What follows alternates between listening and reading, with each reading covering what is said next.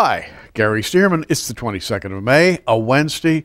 Today we're going to talk about Syria in prophecy once again, and the issues in Syria today are top of the line, top drawer issues, as you will see.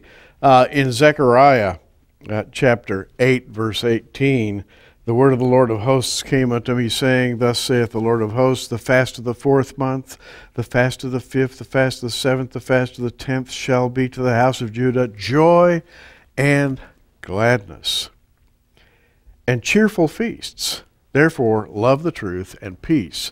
So, this is good news coming from Zechariah, and he talks about uh, the fast of the 17th of Tammuz, the fast of Tisha B'Av the fast of Tzom Gedalia, and the fast of the 10th of Tevet, all four of which are very, very dark, dark uh, fasts in the Jewish calendar.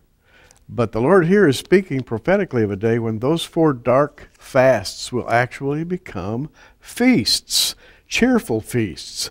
And so we know by this that the Lord is speaking of the future, not uh, of what's going on in Israel right now. And he goes on then in the next chapter, chapter 9, to give a burden. Now, a burden is a prophecy uh, of destruction.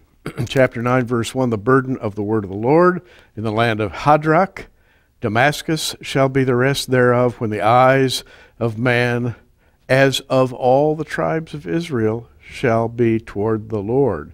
So the opening of this prophecy is the the judgment of the nations surrounding Israel, in particular, uh, the, the uh, nations to Israel's north. This would be Lebanon and Syria.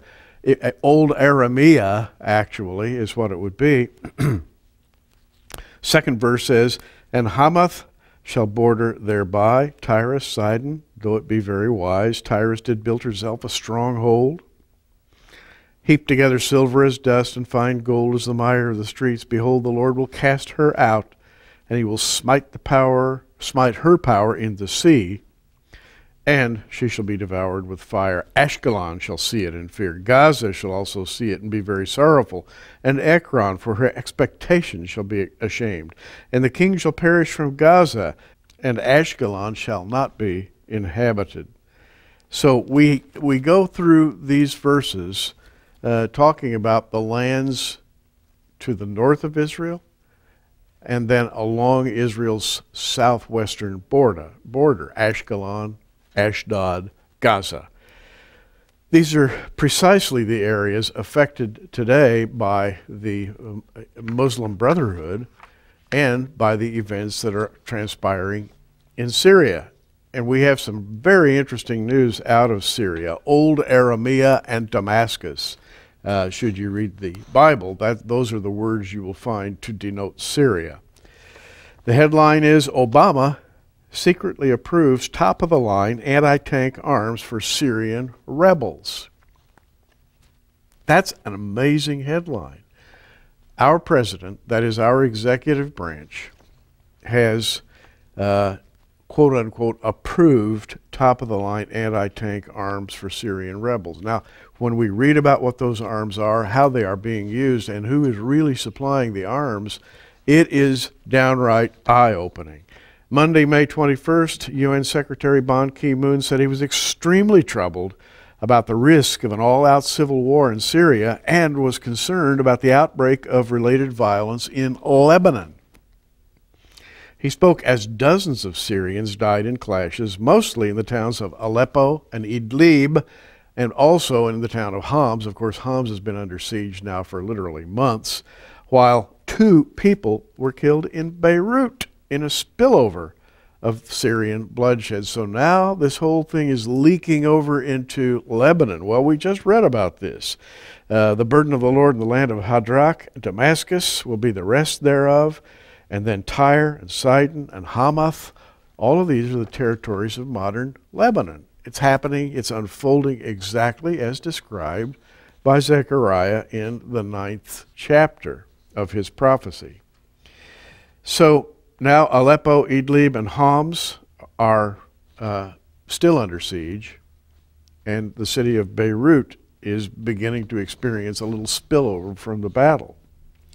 Sunday, at the NATO summit in Chicago, uh, Secretary Anders Fogh Rasmussen said firmly that the alliance has, quote, no intention of taking military action against President Bashar Assad's regime. But he said nothing about the individual military action, individual NATO members translating their concern about the escalating violence in Syria into military action. So uh, we have NATO beginning to take covert military action.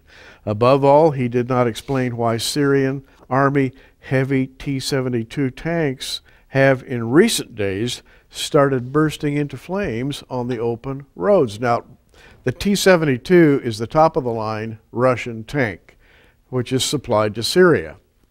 Uh, anytime you read about uh, uprisings going on in Syria, in Lebanon, uh, particularly as you move over uh, through Iraq into Iran, you're talking about Russian weaponry being used.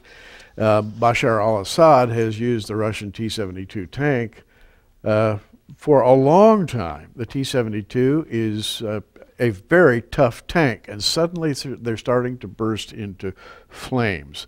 Uh, military sources from Debka file, and I'm reading Debka file, dateline May 22nd, disclose the cause. The Syrian rebels have received their uh, first quote unquote third generation anti tank weapons the 9K 115 2 Metis M and the Kornet E. They are supplied, and here's the bottom line to all this they are supplied by Saudi and Qatari intelligence agencies following, following a secret message from President Barack Obama advising them uh, to up the military stake in an effort to oust Assad.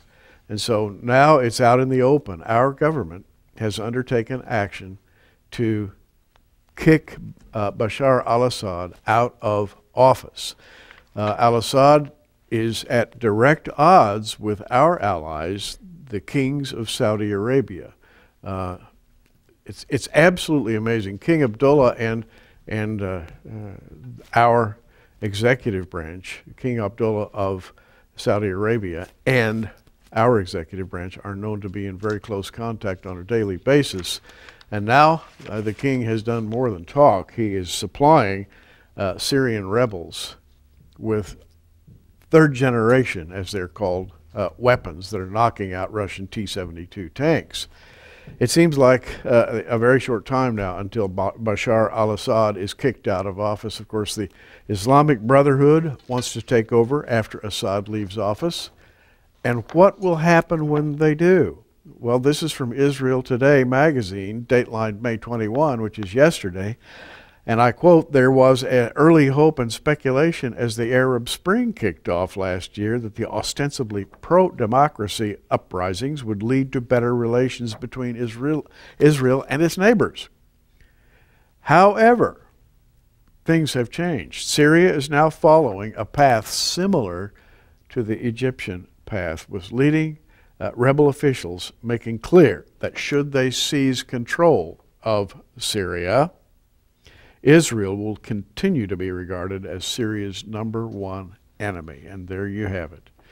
Uh, if Bashar al Assad is, is kicked out of, of leadership in Syria to be replaced by the Islamic Brotherhood, all this will mean is uh, we'll have a repeat of 1967, the Six Day War, the Syrians to the north, the Jordanians uh, to the east, the Egyptians to the south.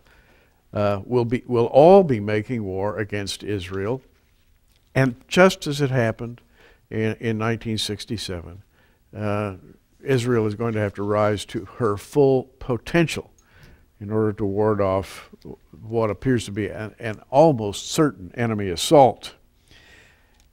This is why it's, it's very interesting to read the prophets because we have here uh, Zechariah 9, uh, the burden of the word of the Lord in the land of Hadrach and Damascus shall be the rest of thereof. Uh, these areas are going to be destroyed. And the credit for that destruction is going to go to God, although Israel will be the one acting, uh, I think, on behalf of the Lord to destroy Damascus, to destroy the lands just to the north of Israel, Uh, and of course, Ezekiel has a long, a whole chapter devoted to the destruction of Egypt in the latter days. So we are looking at the development of uh, what some would call World War III, what others would call a repeat of the 1967 Six Day War. So keep looking up, everybody. Uh, it can't be very long. And uh, I think the Lord really is uh, coming soon. Keep looking up.